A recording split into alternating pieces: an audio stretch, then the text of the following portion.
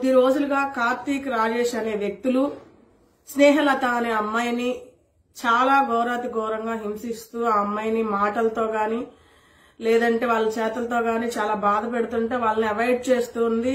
రెండు నెలల క్రితం వాళ్ళ తల్లిదండ్రులు పోలీస్ స్టేషన్కి వెళ్ళి కేసు పెట్టారు. నిన్న సాయంత్రం మధ్యాహ్న కాలంలో వాళ్ళ వాళ్ళ అమ్మగారితో మాట్లాడింది ఆ అమ్మాయి. అనంతపురం నుంచి ధర్మవరం వచ్చే మధ్యలో ఆ పాపని తీసుకెళ్ళి భయంకరంగా హింసించి కాల్చి చంపేశారు. మొన్నటి రోజునే నాగమ్మ గారి సంఘటన మరవక ముందే మళ్ళీ ప్రకాశం డిస్టిక్లో భువనేశ్వరి గారి సంఘటన మరవక ముందే చెలో పులివెందల అని పిలుపునిచ్చారు. ఆ కార్యక్రమం జరిగే టైంలోనే మరో మై- మైనర్ బాలికను అత్యాచారం చేశారు అనంతపురం జిల్లాలో. ఇన్ని సంఘటనలు జరుగుతున్నా ప్రభుత్వంలో మేము నాయకులం ఉన్నాము. మహిళా హోమ్ మినిస్టర్గా నేను ఉన్నాను అభయ యాప్ ఉంది. లేదంటే దిశ చట్టాలు ఉన్నాయి దిశ పోలీస్ స్టేషన్లు ఉన్నాయి అని చెప్పి షోకేసుల్లో బొమ్మల్లాగా అలంకారప్రాయంగా చాలా చాలా హడావుడి చేశారు. నిన్నటికి నిన్నటి రోజునే జగనన్న పుట్టినరోజు సంబరాలు అమ్మరాని కంటేటట్టు షీ టీమ్స్కి రంగులు పూసి మరి కొన్ని లక్షల రూపాయలు కోట్ల రూపాయలు వెత్తించి వాళ్ళు రంగులు పూసుకొని మరి సెకండ్ హ్యాండ్ వెహికల్స్ షీ టీమ్స్కి ఇచ్చారు. అభయ యాప్లు తీసుకొచ్చారు. అభయ యాప్ని ప్రమోట్ చేసిన హోమ్ మినిస్టర్ గారు ఏమైపోయారో తెలియదు ఈ వీటిని ఎంతవరకు వినియోగించుకుంటున్నారో లేదంటే ఈ జనాల్లోకి ఎంతవరకు వెళ్ళినాయి అని చెప్పేసి ఆలోచించే నాయకులు ఏమైపోయారో తెలియదు గన్ కంటే ముందు వస్తా అన్న జగన్మోహన్ రెడ్డి గారు ఏమైపోయారో తెలియదు సాక్షాత్తు వాళ్ళ ఇలాకాలోనే పులివెందుల ఇలాకాలోనే ఎన్నో సంఘటనలు జరుగుతున్నా రోజు కొన్ని వేల సంఘటనలు జరుగుతున్న రాష్ట్రంలో మహిళలకు విలువ లేదో లేదంటే దళితులకు విలువ లేదో అర్థం కావట్లేదు. ఇన్ని జరుగుతున్నా కూడా ప్రభుత్వం ఉందనుకోవాలో ప్రభుత్వంలో ఉన్న నాయకులు ఉన్నారనుకోవాలో తెలియట్లేదు.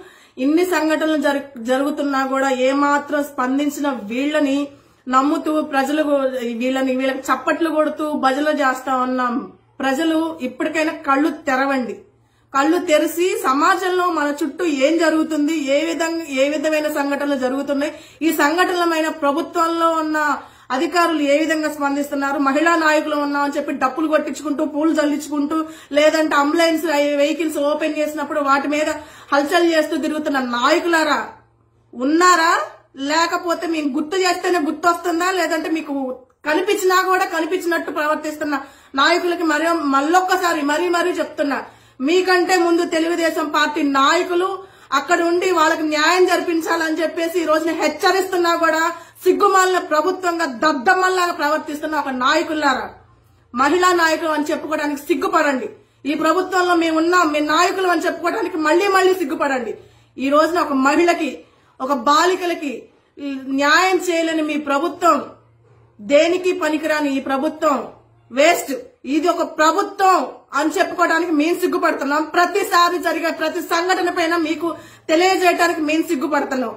ఎందుకంటే మీకంటే ముందుగా ప్రజల్లో ఉంటున్న తెలుగుదేశం పార్టీ గాని తెలుగుదేశం నాయకులు గాని ముఖ్యంగా మహిళలకు ఏదైనా జరిగిందంటే ప్రతి క్షణం వెన్నంటి నడుస్తున్న వం- వంగ వంగల్పూడి అనితక్క గారికి నేను నిజంగా నా హృదయపూర్వకంగా ధన్యవాదాలు తెలియజేస్తున్నా. ప్రతి చోట ప్రతి ఏరియాలో ప్రతి కాన్స్టిట్యున్సీ ఆమె కవర్ చేస్తూ ప్రతి మహిళల పట్ల కూడా ఆమె అప్రమత్తంగా ఉంటూ న్యాయం జరగాలని చెప్పి పోరాటం చేస్తున్నారు. ఆమె తోడుగా మేమెంత పోరాటం చేస్తున్నాం కానీ అధికారంలో ఉండి మీరు ఏం చేస్తున్నారు? అధికారంలో లేకుండా ప్రతిపక్షంలో ఉన్నప్పుడు వాపోయిన నాయకులందరూ ఇప్పుడు నిద్రపోతున్నారా? ఒక్కసభ ఒక్క ఒక్కొక్కసారన్న ఒక్కొక్కసారన్న మీ మనక్షాక్షిని ప్రశ్నించుకొని స్పందించండి. ప్రజలకు సరైన న్యాయం చేయండి. మహిళలకు న్యాయం చేయండి. అలంకారప్రాయమైన ఈ దిశ చట్టాలు లేదంటే షీ టీమ్స్ వీళ్ళందరినీ తీసుకెళ్ళి పులుసా కలుపుకోండి. నమస్తే.